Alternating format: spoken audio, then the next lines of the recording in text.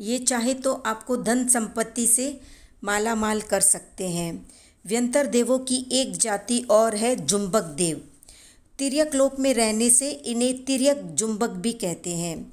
वे अपनी इच्छा के अनुसार स्वतंत्र प्रवृत्ति करने वाले और निरंतर क्रीड़ा में रत रहने वाले देव हैं। ये अति प्रसन्नचित्त रहते हैं और मैथुन सेवन की प्रवृत्ति में आसक्त बने रहते हैं। जिन मनुष्यों पर ये प्रसन्न या खुश हो जाते हैं, उन्हें धन, संपत्ति आदि से सुखी कर देते हैं और जिन पर ये कुपित हो जाते हैं या नाराज़ हो जाते हैं, उनको कई प्रकार से हानि पहुँचा देते हैं या नुकसान कर देते हैं। दीक्षा के पूर्व जब तीर्थंकर भगवान वर्षीदान देते हैं, तब ये जुम्बक देव ही उनके भंडार भरते हैं। इन जुम्बक देवों के दस प्रकार हैं।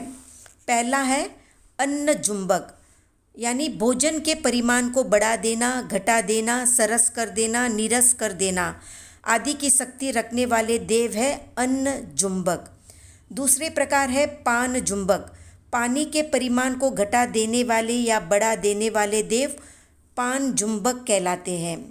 वस्त्र जुम्बक वस्त्र के परिमाण को घटाने और बढ़ाने की शक्ति रखने वाले देव हैं वस्त्र जुम्बक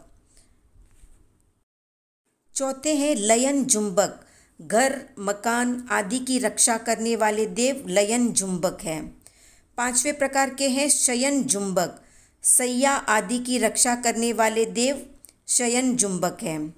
छठे हैं पुष्प जुम्बक फूलों की रक्षा करने वाले देव पुष्प जुम्बक है।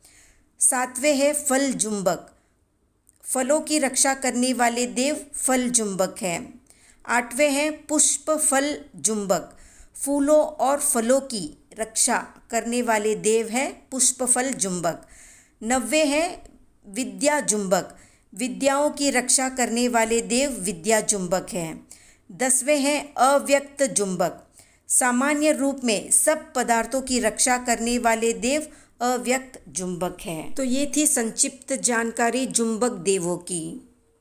आज का प्रश्न है कि वान व्यंतर देवों के कितने प्रकार हैं? कमेंट में बताएँ।